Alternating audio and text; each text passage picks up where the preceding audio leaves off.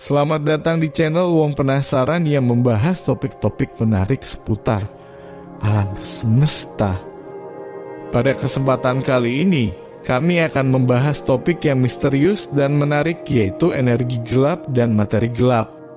Kedua konsep ini merupakan dua hal yang paling banyak dianggap sebagai kekuatan gelap di alam semesta.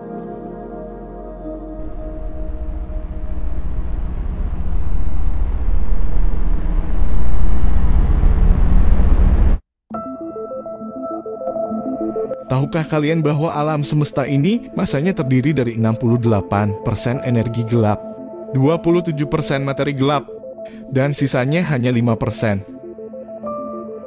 Iya betul. Bintang-bintang, lubang hitam, planet, dan semua debris luar angkasa hanya 5% dari total keseluruhan alam semesta. Energi gelap merupakan misteri terbesar di alam semesta Meskipun kita tidak dapat melihat, merasakan, atau mencoba mengukurnya, energi gelap diyakini menjadi salah satu komponen utama alam semesta. Untuk memahami apa itu energi gelap, mari kita mulai dengan mengeksplorasi sejarah penemuan dan pemahaman kita tentang alam semesta. Pada awal abad ke-20, ilmuwan Albert Einstein mengembangkan teori relativitas umum yang mendeskripsikan bagaimana benda-benda di alam semesta berinteraksi dengan ruang dan waktu. Teori ini memberikan gambaran baru tentang gravitasi dan menunjukkan bahwa benda-benda besar seperti planet dan bintang dapat membengkokkan ruang waktu di sekitarnya. Namun, pada 1990-an, Ilmuwan yang mempelajari pengembangan kosmologi menemukan bahwa alam semesta sedang mengalami percepatan ekspansi yang tidak dapat dijelaskan oleh hukum gravitasi Newton atau Einstein.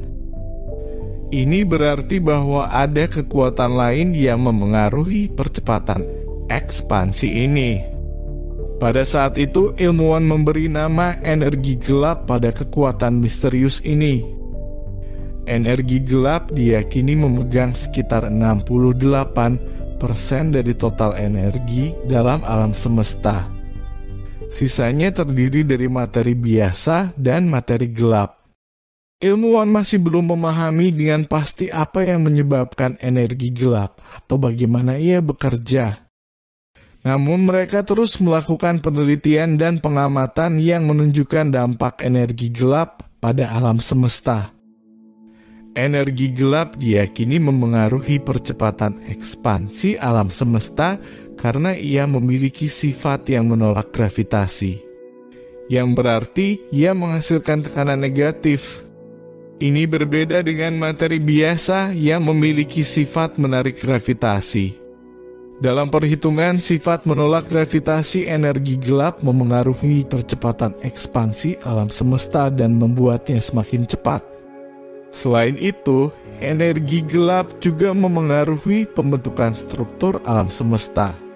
Ketika alam semesta mulai terbentuk materi biasa dan materi gelap terdistribusi secara tidak merata dan membentuk gumpalan-gumpalan. Energi gelap diyakini mengikat dan mengontrol pertumbuhan gumpalan-gumpalan ini mempengaruhi pembentukan galaksi dan struktur besar di alam semesta.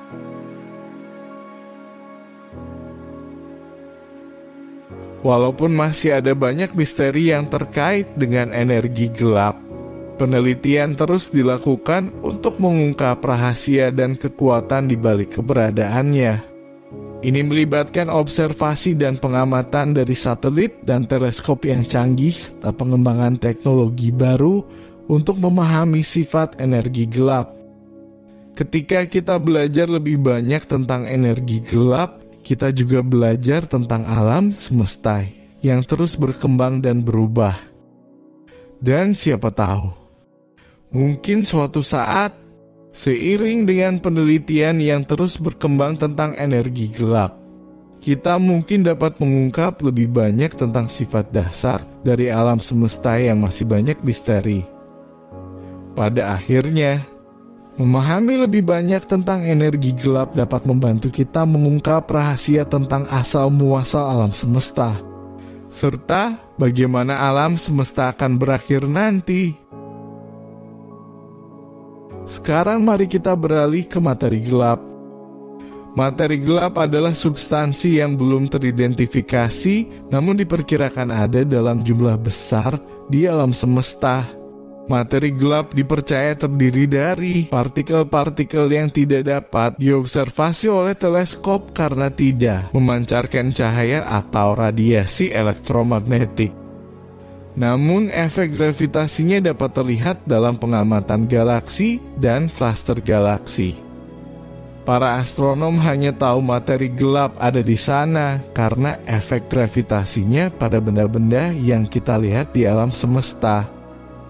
Dalam beberapa kasus, materi gelap dapat memutar cahaya yang melewati objek di dekatnya, seperti sebuah lensa gravitasi, memberikan petunjuk tentang keberadaannya. Meskipun kita belum dapat melihat atau mendeteksi materi gelap secara langsung, Para ilmuwan telah memperkirakan bahwa materi gelap berkontribusi sekitar 27% dari total energi masa alam semesta. Sehingga lebih banyak daripada materi biasa yang kita kenal.